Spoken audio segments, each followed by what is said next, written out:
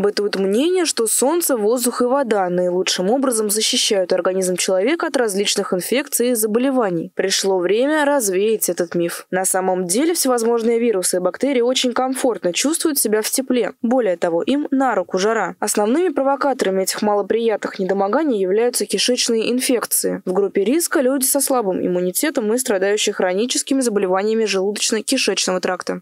Источник большинства летних неприятностей – это грязные руки. Собственными руками мы можем доставить в свой организм болезнетворные бактерии и вирусы. Они отлично приживаются на ручках тележек супермаркетов, телефонных трубках, поручнях в транспорте, денежных купюрах и, конечно, на клавиатуре компьютера.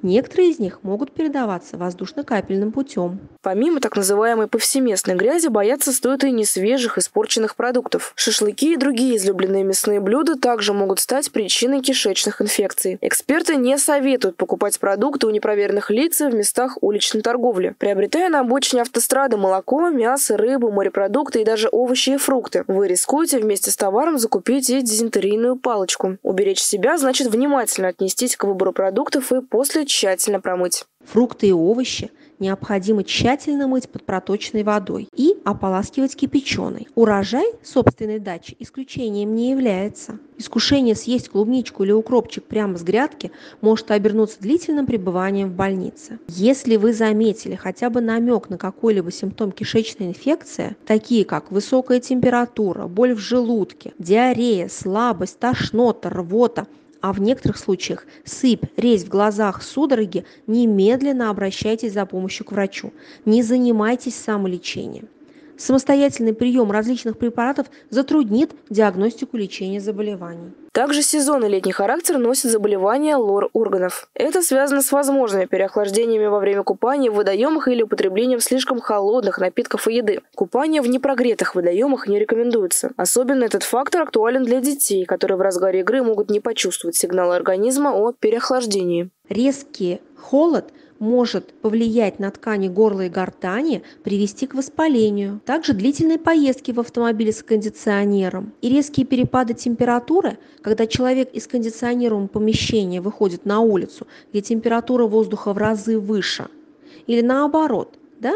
Организм не успевает быстро перестроить работу и испытывает стресс, под воздействием которого может обостриться лор заболевания. Помимо того, что летом нужно оберегать себя от возможного влияния факторов, провоцирующих заболевания лор органов и желудочно-кишечного тракта, жаркий сезон – это еще хорошая возможность подготовить свой организм к грядущей смене погоды. Специалисты рекомендуют закаляться, но делать это нужно строго поэтапно. Начинать стоит с обливания ног прохладной водой.